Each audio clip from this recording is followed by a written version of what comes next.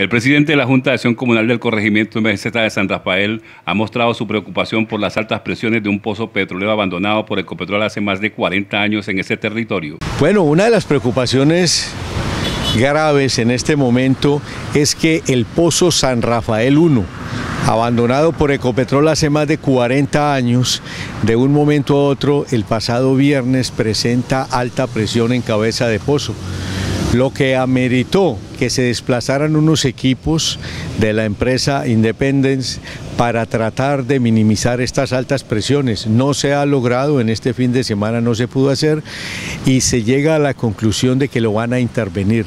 Nuestra preocupación es, ¿es esto una secuela del problema del Pozo 158?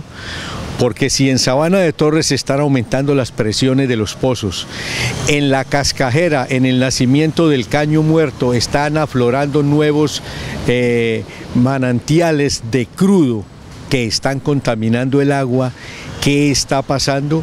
El presidente Felipe Bayón en el Congreso de la República nos dijo que en tres meses nos daba la respuesta definitiva y aún no se ha podido decir. Esa es nuestra preocupación y hoy vemos cómo están entrando equipos a la zona para tratar de minimizar este problema. La llegada de la maquinaria pesada a este lugar dedicado al sector agropecuario sin anuncio previo de Ecopetrol es el motivo de preocupación ciudadana en este sector rural de Barranca Bermeja. Lo primero que las vías terciarias en Barranca Bermeja y no es la excepción de la meseta de Rafael, no están capacitadas para soportar una cantidad de peso sobre este.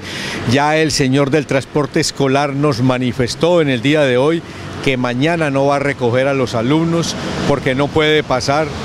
Estos equipos eh, han hecho unos cráteres muy profundos Ecopetrol hasta este momento no me ha respondido las llamadas que le hemos estado haciendo y bueno, es uno de los problemas que tiene la empresa estatal petrolera de que no responde cuando uno como líder lo llama para concertar una posible solución. Ellos entraron el viernes sin socializar y sin avisarle a nadie y hoy estamos viendo ya problemas en esta infraestructura vial. La comunidad teme que en ese territorio se registren nuevos afloramientos de crudo, tal y como se registró este año en el Pozo Lizama 158 en el corregimiento La Fortuna.